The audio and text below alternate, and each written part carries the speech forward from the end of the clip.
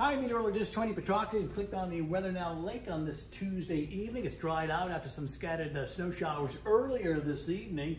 It's going to start feeling more like winter next couple of days. Not that we have a big snowstorm on the way. However, for Wednesday, scattered snow showers, and it may be just enough to coat the ground in some areas. So there may be some slippery spots mid to late morning on Wednesday, early afternoon. So kind of a low-key pinpoint weather alert for Wednesday. It'll be a windy and a colder day and some of these snow showers that come through. So the showers that went through earlier this evening are gone.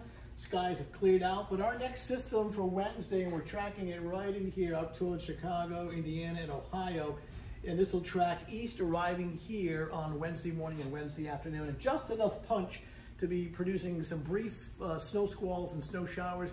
I don't think it's a statewide thing, it's more localized, but if you do get some of these squalls or snow showers, may coat the ground and may produce uh, some slippery areas. So here's the deal for Wednesday morning with snow showers, temperatures in the lower 30s, and during the afternoon hours, certainly colder than what we've had of late. Looking at temperatures in the mid to upper 30s, the wind will make it feel colder, but off and on snow showers through the afternoon. Again, may coat the ground in some slippery spots, and that includes out towards uh, southeastern Massachusetts as well. So uh, kind of a pinpoint weather alert for some slippery travel coming up on Wednesday. All right, that's your latest Weather Now update. Thanks for logging in. Be sure to check in with Mish bright and early in the morning, starting at 4.30 a.m. with the updates on some of the uh, snow squalls and snow showers that will come through on Wednesday.